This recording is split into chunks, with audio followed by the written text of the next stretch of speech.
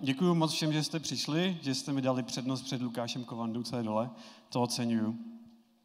Já se jmenuji Stanislav Šimek, jsem právník a vedu společnost Dromy, kde poskytujeme eh, komplexní služby blockchainovým projektům, ať už daňový, právní, máme s fundraisingem, eh, technickými řešeními, píšeme white papery, propojujeme lidi. A dneska na této přednášce bych vám chtěl povědět právě chyby a překážky, s kterými jsme se setkali při spolupráci s různými blockchainovými projekty a, a doufám, že vás to obohatí. Tak začneme s ostra a těžkou otázkou, což je spotřebitelské právo. Se jenom zeptat, kdo z vás má nějaký blockchainový projekt nebo chce zakládat? Super. Tak třeba, třeba vás namotivuji, aby vás bylo víc. Uh, první věc je spotřebitelské právo. Něco, uh, co většina blockchainových projektů naprosto ignoruje, protože si myslí, že v blockchainu právo neplatí ale není to úplně tak. Řeknu vám jednu příhodu, která se stala projektu, s kterým jsme spolupracovali. Eh, vydávali NFT kolekci velmi úspěšně, prodali, vyrejzovali na tom několik milionů a jeden britský občan si koupil NFTčka za několik milionů korun. Nicméně, jak už to tak bývá, eh, u některých NFTček postupem času ta cena šla dolů a dolů a někdy po tři čtvrtě roce si ten Brit řekl, hm, tak jsem v mínusu 80%, co s tím můžu udělat? Vzpomněl si na spotřebitelské právo, což je něco, co funguje na ochranu spotřebitelů. U nás, nebo v Evropské unii, máme robustní ochranu a spotřebiteli každý, kdo uzavírá nějaké, nějakou smlouvu s podnikatelem mimo svoji podnikatelskou činnost, takže typicky, když si jdete koupit rohlík nebo auto, jste spotřebitel, ten, kdo vám to prodává, je podnikatel. No a když si kupujete NFT, tak jste taky spotřebitel. Eh, a podnikatel je naopak ten, co, co s váma uzavírá smlouvu kvůli tomu, aby vydělal nějaký peníze, eh, musí to být nějaký jako dlouhodobější nebo soustavnější. Není to tak, že když vy právě třeba prodáte jedno NFT nebo prodáte auto, přeprodáte jedno auto, tak nejste okamžitě podnikatel. Nicméně tady ty NFT projekty velmi pravděpodobně podnikatelé jsou. Uh, a to znamená, že v rámci spotřebitelského práva spotřebitelé mají hodně práv, aby právě podnikatele neatlačili do nějakých smluv, co by pro ně byly nevýhodné, a k tomu se vážou podnikat, uh, povinnosti podnikatelů. Takže právě předtím, než vy koupíte od podnikatele nějaký, nějaký zboží nebo vám poskytne službu, tak vám například musí sdělit spoustu údajů o sobě, eh, jako jeho identifikační údaje, popis to zboží nebo služby, co máte dělat, když je to zboží vadný. Jenom eh, pro vyjasnění, tohle se netýká nějakých každodenních eh, smluv, takže když právě jdete do obchodu, něco si koupíte, tak tuhle povinnost podnikatel nemá, ale když právě byste si kupovali auto nebo NFT, tak tuhle tu povinnost má. A pokud uh, ta smlouva je uzavíraná distančně nebo mimo prostory uh, provozovny, to je hlavně kvůli těm takzvaným šmejdům, co prodávali hrnce těm babičkám a dědečkům, tak těch povinností má podnikatel mnohem víc. Tohle jsou další informace, co jim musí sdělit, další informace, co musí podnikatel sdělit. Ale co je nejdůležitější, že u těchto smluv má spotřebitel právo odstoupit od smlouvy do 14 dnů. A pokud ten podnikatel o tomhle právu neřekne spotřebiteli, tak se tady ta lhuta prodlužuje na rok. Tak a teď, když to přenesem do tohohle světa NFT, tak pokud jste si koupili uh, NFT, kleslo na ceně, nebyli jste informovaní o možnosti odstoupit od smlouvy, máte právo uh, to udělat a požadovat potom projekt, aby vám vrátil peníze, co jste mu dali, když vy mu vrátíte NFT. Tohle je přesně to, co udělal ten britský pán požadoval odstoupení od smlouvy, ať mu vrátí všechny peníze. Ten projekt teda jako nechtěl a vypadá to, že bude soud. No nicméně, z kolika jste se setkali projekty, že by vás informovali o, o těchto právech, o právu odstoupit? Moc jich není. A nicméně, teda koukám, že tady, z toho, jak jste zvedali ruce, není tolik podnikatelů, ale spíš spotřebitelů, NFT fanoušků třeba, tak pokud jste koupili před méně než rokem nějaký NFT a jste teďka hodně v mínusu, tady máte návod.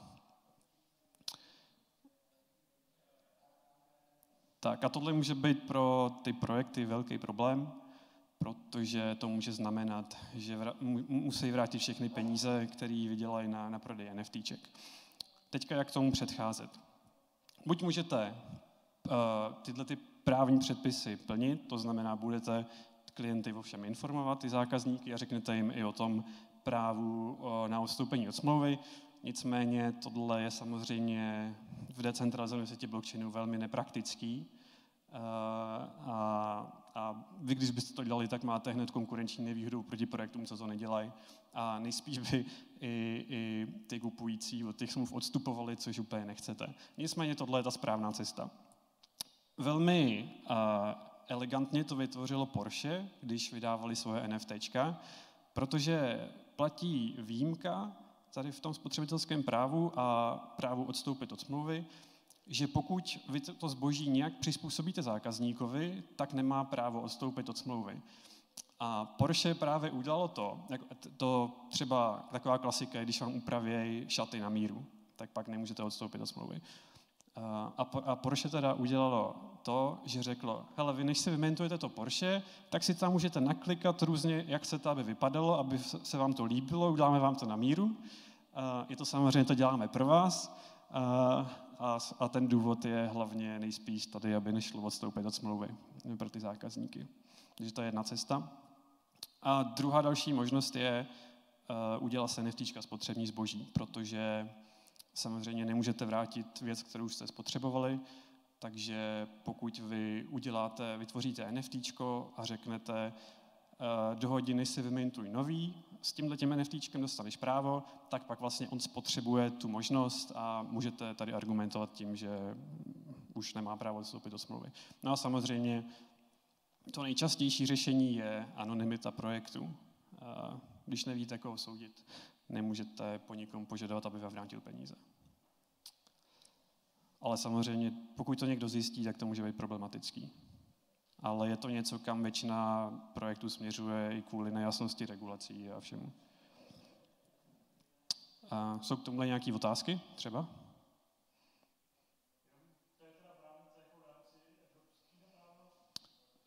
Každý stát to má jinak, s tím, že v Evropské unii je to harmonizovaný a teda v té Británii taky, protože to ještě, když ještě byla Británie v unii, tak tohle toto. Nicméně myslím si, že v každém rozvinutém státu je nějaká ochrana spotřebitele. Nejsem si jistý, jestli je to takhle. Jestli je tam to právo na odstoupení do 14 dnů, ale určitě v Americe je, je Consumer Protection Law, nicméně neznám ty podmínky konkrétní. Ano. Sídla spotřebitele. Takže, takže právě další možnost se dělat že si vytipujete země, kde to je přísný a udělat uh, podle IP adresy třeba vyloučit uh, kupující z Evropské unie, aby to nemohli dělat.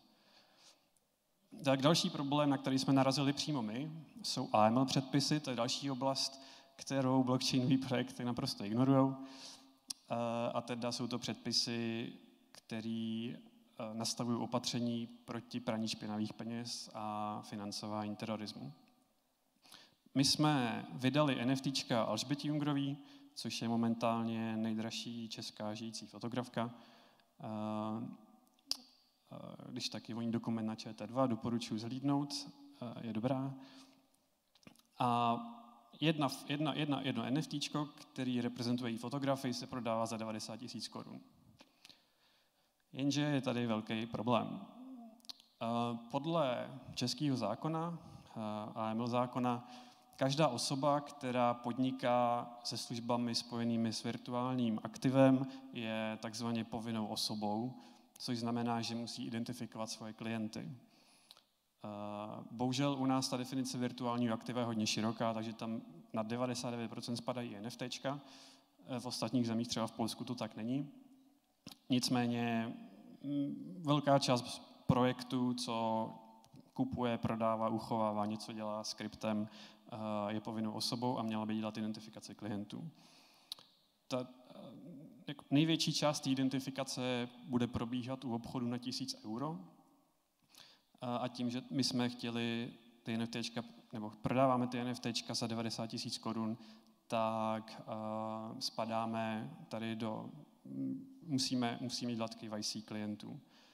Uh, možnosti, jak, jak udělat to KYC v souladu s právem, je buď fyzicky setkat se s tím klientem, obsat si údaje z jeho, z jeho občanky a ověřit schodu podle obličeje, pokud to chcete dělat dálkově, tak si musíte udělat kopii dvou jeho dokladů, musíte podepsat nebo uzavřít smlouvu v textové podobě a on vám musí ze svého platebního účtu na území Evropského hospodářského prostoru poslat aspoň jednu korunu, abyste, protože ty banky dělají eh, to KYC docela robustně, tak tohle to stačí. A bohužel i tady to, ta KYC identifikace je u nás, ta dálková, jak lze dělat, je u nás přísnější než uh, jinde než, u, než v jiných státech, takže i přesto, že existuje hodně service providerů, který vám nabízejí, že vám to KYC udělají, tak to často nestačí pro ty naše předpisy. A další možnost je bankovní identita, to zase samozřejmě složitý, protože to musíte mít nasmluvaný s bankou. Pokud vy to nedodržujete, ty předpisy, tak vám hrozí pokutu až 30 milionů. Momentálně finanční analytický úřad ty pokuty dává relativně malý, ale nemůžu vám doporučit, abyste nedodržovali tady ty předpisy. Tak jak, jak tomuhle předcházet, aby vám to nehrozilo? Buď dodržovat předpisy, dělat KYC a kontroly, uh, nebo neprodávat krypto NFT na tisíc euro. Nicméně to se vyviníte jenom ne, ne, ne úplně na 100%, protože vy byste měli dělat screening. Uh, vy, pokud, vy byste měli dělat screening u každého a pokud zjistíte, že, uh, nebo takhle, vy pokud zjistíte, že, že ten, komu to prodáváte, je politicky exponovaná osoba, nebo je to osoba z třetí země, uh, nějaký rizikové, jako jsou Kajmany, právě všechny ty kryptoprojekty, Kajmany, Spojené Arabské Emiráty, uh, Gibraltar, tak musíte udělat další jako hloubkovou kontrolu toho klienta, odkud má peníze a takhle. A zase, co, jak se to řeší nejvíce, anonymita. Když nevíte, kdo, když nevíte, kdo ten projekt dělá, nemáte koho soudit. Ale samozřejmě zase lze to zjistit. Uh, další potenciální problém, nebo jsou k tomuhle otázky? Dobrý, děkuji. Uh, další potenciální problém, který se netýká jenom blockchainových startupů, ale vlastně všeho podnikání, je ten, že, že společníci založí startup, jsou plní nadšení, nic neřešej a po roce se rozhádají. Pracovali jsme s klientem teďka, co udělali jako velmi blockchainový startup s velkým potenciálem, vyrealizovali několik milionů. No a teďka po roce řešejí to, jak jednoho společníka, který přestal pracovat a dělá tam problémy z té společnosti vyšoupnout. Samozřejmě si neuzavřeli žádnou dohodu, je to velmi těžký a pokud to budou chtít vyřešit, tak to bude velmi, velmi nákladný. A často to končí eh, i tak, že ten projekt skolabuje, protože je to, je to velký problém. Vy pokud to nebudete řešit, tuhle tu situaci, tak budete mít ve společnosti někoho, kdo se bude podílet na, na, na veškerém vašem úspěchu a zároveň tam nebude pracovat nebo vám tam bude škodit, což samozřejmě nechcete. Často se to řeší tím, že se tomu společníkovi toxickému nabídne nějaký finanční, nějaká finanční kompenzace, a nebo jak jsem zmínil, můžete si zaplatit vysoké, eh, drahé právníky, aby, aby to nějak zařídili. Jak tomuhle předcházet? Nejdůležitější je nedávat podíly na potkání, což je taková běžná praxe. Eh, zakládáte podnikání, řeknete, pojď se mnou, dám ti 20% podíl, aniž byste toho člověka dobře znali. Eh, nevíte, jestli on bude ochotný tomu obětovat eh, velkou část života v podstatě, což je potřeba u startupu. Neznáte ho, nevíte, co bude dělat. Tak, takže podíly byste měli dávat jenom někomu, v koho fakt máte důvěru, jednak, že vás neokrade a jednak, že bude, že bude pracovat. I tak bychom radili u všech společníků a startupů si předem uzavřít společenskou dohodu, tedy dohodu, která bude upravovat e, i za jakých podmínek jeden, ty společníci jsou povinni ty své podíly převíst na ty ostatní. Většinou se tam dávají povinnosti pracovat 40 hodin týdně minimálně pro ten projekt a podobně. A, a opačné řešení vlastně, které, které zase je o tom, že ten jeden společník, s kterým se spolupracovat podíl nedostane ale bude mít právo, bude mít opční smlouvu, že pokud se něco stane, pokud něco splní, vy, vy na něj ten podíl převedete. Takže zase typicky, pokud přineseš klienty, který nám přinesou 5 milionů korun, dostaneš 20% podíl. Tady další projekt, s kterým jsme pracovali, měl, byl to opět NFT projekt, velmi úspěšný. Zase během, během několika měsíců se jim podařilo uh, prodat NFT za několik milionů. Prostě pracovali tvrdě dva měsíce.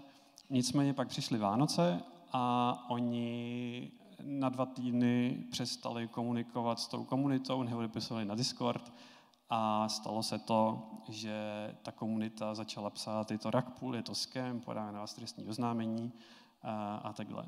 A stačilo velmi málo, a i přesto, že v roadmapě všechno splnili, jeli podle plánu, ale stačilo velmi málo, aby si tu komunitu znepřátelili a udělalo to relativně nevratný finan- uh, reputační, uh, mělo to nevratný reputační následky.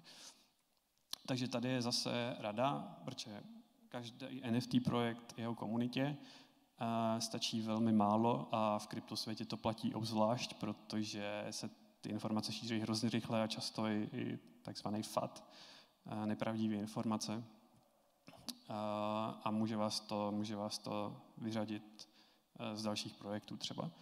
A samozřejmě tady bych chtěl připomenout, že vy pokud slíbíte v roadmapě, že v rámci NFT projektu něco uděláte a pak to neuděláte, tak to už, to už by třeba trestný čin mohl být, nějaký podvod nebo takhle. Takže to se taky snažte vyvarovat. Uh, další možnost, jak to řešit, je samozřejmě zase anonymita, anebo ten kvalitní community management. Uh, něco, o čem moc lidí neví, ale mělo by.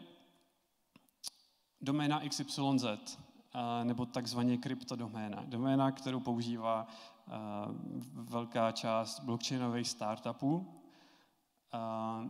Nicméně třeba tady je jeden velký český projekt, který za tuhle doménu zaplatil půl milionu. Nicméně tady s touhle doménou problém, že vám většinou spadne do spamu, když z ní budete psát e-maily Eh, dokonce stačí, když, když píšete e-maily a hodíte odkaz na stránku s touhle doménou, tak je zase zvýšená šance, že vám spadne do spamu.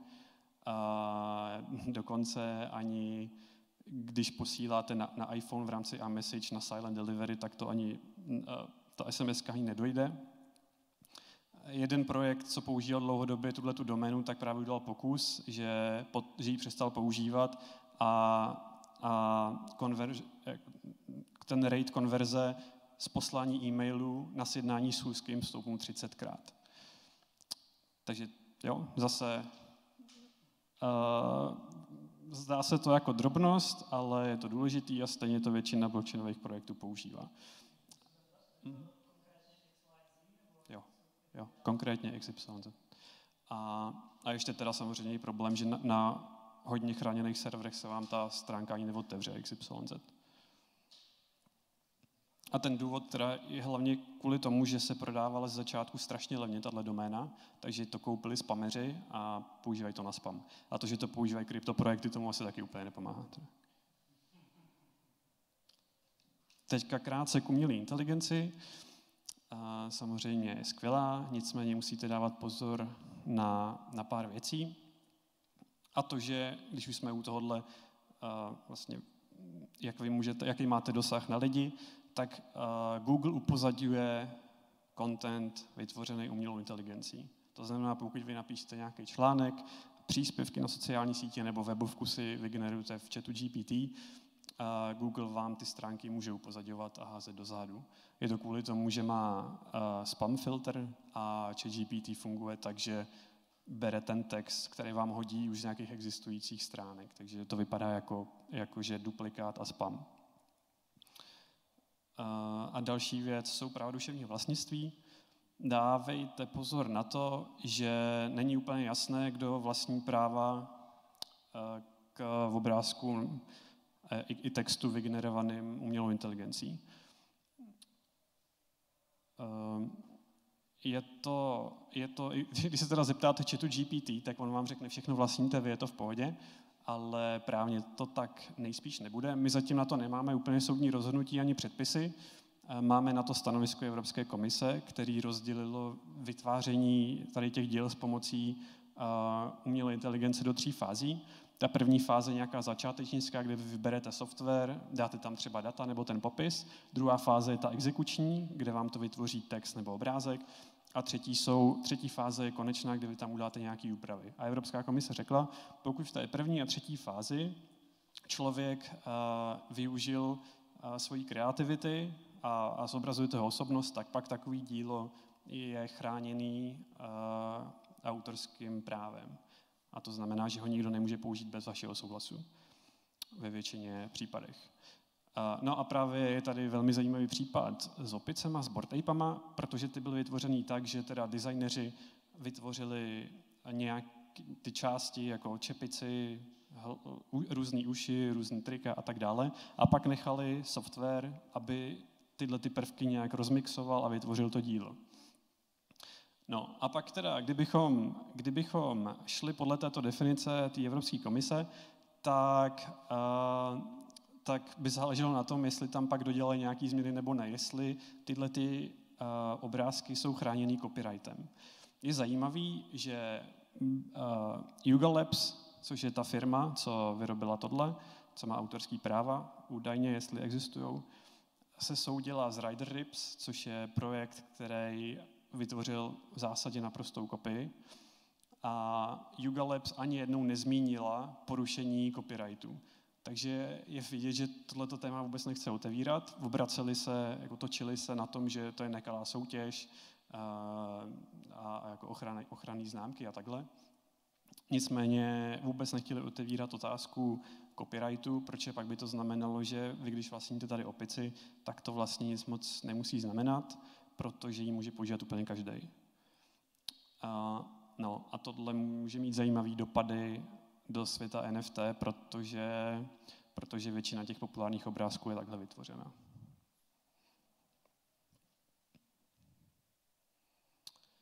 A pak tady máme DAOS, což je zase skvělý nástroj, kdy členové DAO můžou spravovat nějaké vybrané záležitosti dle předem stanovených podmínek a hlavně anonymně. Nicméně je tady jeden velký problém, s kterým ty DAO a členové DAO neúplně vždycky pracují, a to, že DAO nepožívá ochrany nebo nepožívá výhod společností, společenstevního práva, a to omezeného ručení a právní osobnosti. A co to znamená? Vy, když máte společnost a jste společník, všechny právní jednání společnosti se vás v zásadě netýkají, pokud neděláte nějaký podvody. Když ta společnost padne do insolvence, vy jste v pořádku. Nicméně to tady u toho dá neplatí, protože nejde, nejde registrovat jako právní osobnost, k tomu se dostanu, jestli jde nebo nejde, ale obecně většina DAOs není registrovaná jako právní osobnost. To znamená, že všichni členové DA vlastně vytvořili, vytvořili združení, aby spravovali nějakou záležitost a všechny závazky, které si DAO vytvoří, zavazují všechny držitele těch tokenů a jsou společně a nerozdílně takhle odpovědní za škodu. To znamená, že kdybychom si e, řekli příklad Uniswap, pokud by to nějak právně neřešil, tak všichni členové tokenu by byli odpovědní, kdyby, nebo pravděpodobně, tohle samozřejmě neřešená otázka, když se to neví, mohli by být odpovědní za to, kdyby někdo nahackoval Uniswap a, a vysál tam miliard dolarů. A společně na nerozdílně, což znamená, že vy, když budete vědět o, o jednom držiteli tokenu, třeba tady kolega, tak ho můžete žalovat o miliard dolarů. Uh, no, jakože potenciálně velký problém, nikdo to moc, zatím se to moc neřeší, protože JOLO decentralizovaný svět, uh, ale, ale jakmile se to střetne s tou realitou, tak to může být problematický. Uh, tohle, jo a právě tohle to lze řešit, dělají se různý, že se to snaží to DAO napasovat na právní osobnost, ale moc to nefunguje. Nicméně jsou i jurisdikce, už i v Americe, kde právě ty DAOs mají samostatnou, uh, můžete je registrovat jako samostatnou společnost a právě vám to zachová výhody dá, jakože anonymita, nemusíte tam mít statutára, nicméně, uh, jo, teda takhle máte všechny ty výhody a zároveň tam je omezený ručení a má to právní osobnost, takže může vstupovat do, do smluv a takhle. Doporučuju. A teďka bych chtěl udělat takovou case study eh, na protokolu AV, což je lending protokol, ten nejznámější. Tady koukám, že na Ethereum spravují 1,5 miliardy dolarů. Tam mají vložený vklady. A teďka bychom si řekli, co jim teoreticky může hrozit za problémy, když právě ten decentralizovaný svět střetneme s právem. Eh, AV vydalo v roce 2017, nebo udělalo ICO a vyrejzovalo asi 16 milionů dolarů. Tak tady máme hned první problém, protože samozřejmě je tady velká otázka, jestli tokeny jsou uh, cenní papíry, securities nebo ne. Podle Fedu uh, jsou v zásadě všechny, kromě, kromě Bitcoinu a možná Ethera. Uh, ČNB k tomu má pořád postoj takový, že se jí tokeny vůbec uh, netýkají a vlastně si s tím tady může dělat. Může si je vydávat, kdo chce, nicméně tenhle ten názor nemusí být úplně v s evropským právem a ještě to neřešil soud, takže nevíme. Takže je tady potenciální odpovědnost za, za, eh, za vlastně veřejnou nabídku neregistrovaných celých papírů, za což jsou obří pokuty, protože normální společnost, když se vydat akcie a nabízíte společnosti, tak musí vytvořit prospekt na, na 500 stránek, který stojí hromadu peněz na právníky a tady tímhle tím se tomu dále chce vyhnout. Takže tady jim teoreticky hrozí uh, nějaká odpovědnost. Uh, jak tohle to řešit? Je to jeden z důvodů, proč se teďka tolik rozmohly airdropy, proč tím to tady padá. Uh,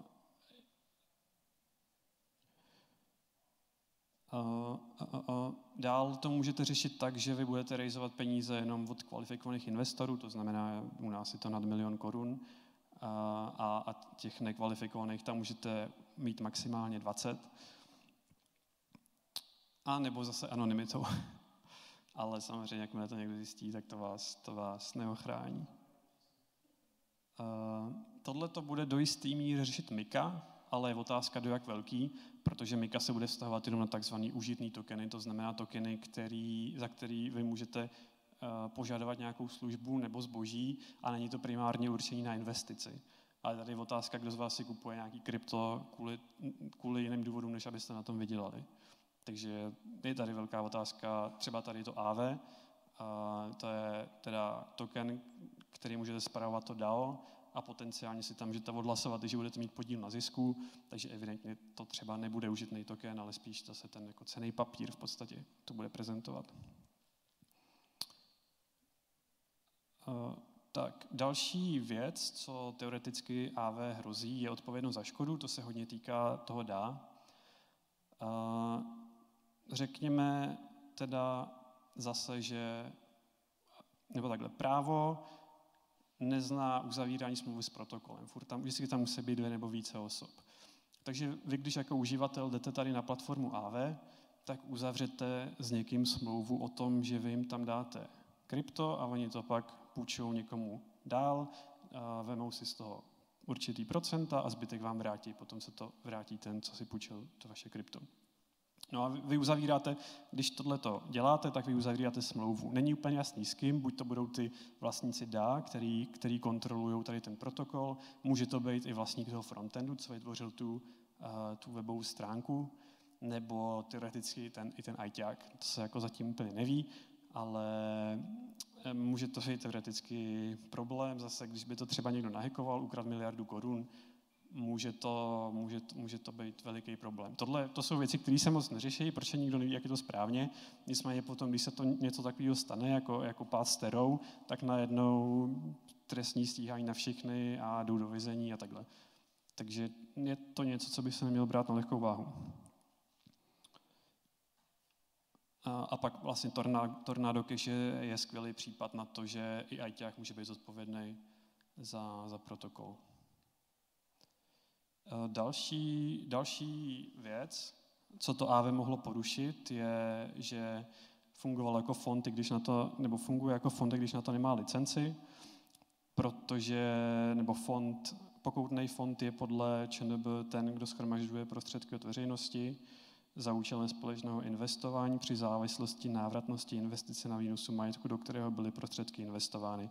A podle nich přímo právě vybírání peněz a půjčování třetí osobám je pokoutný fond. Takže tady, pokud na to nemají licenci, takže tady AV funguje jako pokoutný fond.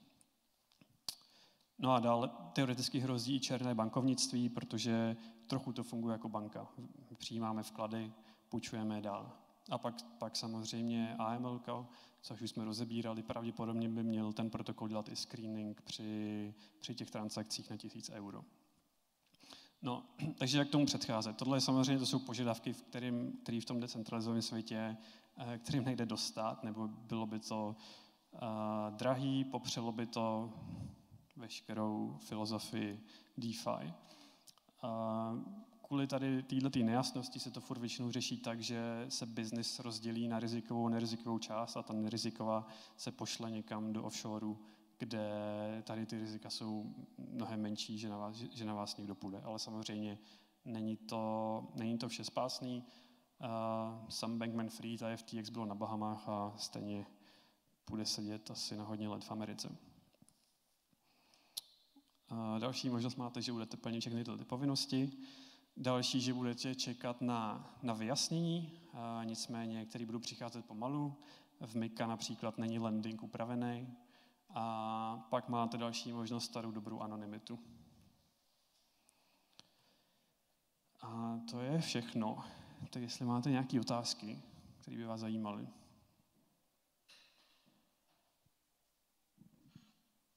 Děkuju.